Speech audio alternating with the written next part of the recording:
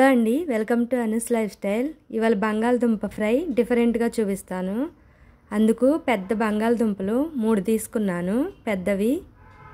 ఇవి కడుక్కొని చెక్కు తీసుకొని ముక్కలు చేసుకొని పక్కన పెట్టుకోవాలి.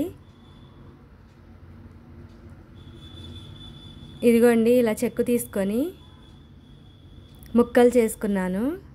తర్వాత ఒక గిన్నెలో వేసుకొని ముక్కలు దాంట్లో అర స్పూన్ కారం మూడు స్పూన్ల శనగపిండి మూడు టేబుల్ స్పూన్ల శనగపిండి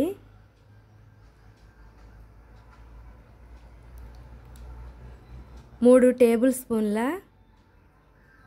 కార్న్ఫ్లోరు మొక్కజొన్న పిండి అండి ఇది. శనగపిండి మూడు మొక్కజొన్న పిండి మూడు స్పూన్లు అల్లం వెల్లుల్లి పేస్ట్ ఒక స్పూను ఉప్పు రుచికి సరిపడినంత.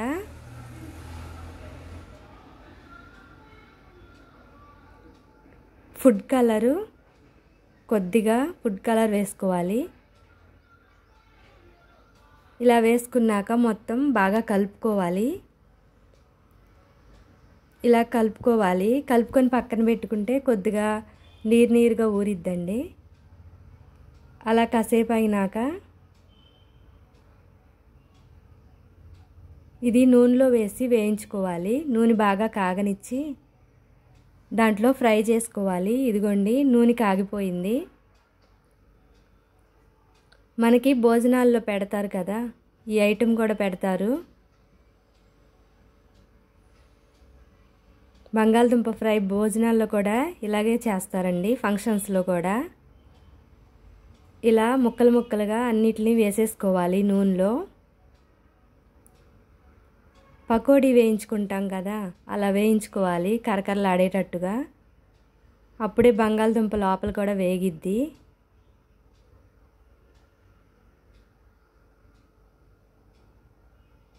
రెండు సార్లుగా వేసుకున్నాను నేను కలిపి పెట్టుకున్న ముక్కల్ని. ఇదిగోండి ఇలా ఎర్రగా వేగాలి. లోపల కూడా వేగిపోవాలి.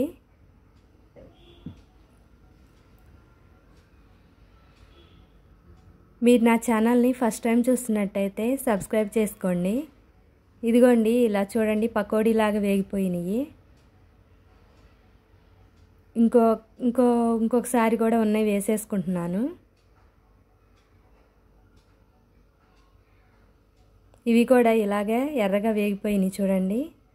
తర్వాత వీటిని వీటిలో జీడిపప్పు కొద్దిగా నూనె పోసుకొని ఒక స్పూన్ నూనె పోసుకొని బాండి పెట్టుకొని దాంట్లో ఒక స్పూన్ నూనె పోసుకున్నాక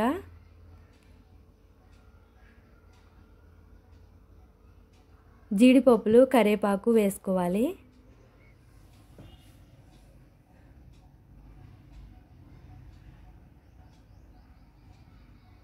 ఇవి దోరగా వేగనివ్వాలి. కొద్దిగా ఎర్ర ఎర్రగా వచ్చేంతవరకు వే వేగనివ్వాలి. గోల్డ్ కలర్లో వచ్చేదాకా రెండు ఎండుమిరపకాయలు కూడా వేసుకోవాలి.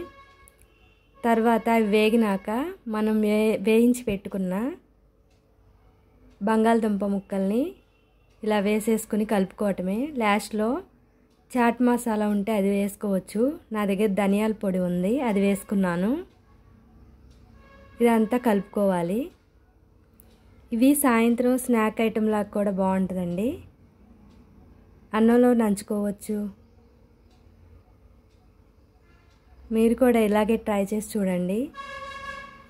బాగుంటుంది.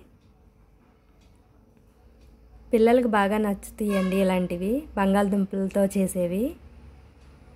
ఇదిగోండి రెడీ అయిపోయింది. బంగాళదుంప ఫ్రై. డిఫరెంట్గా.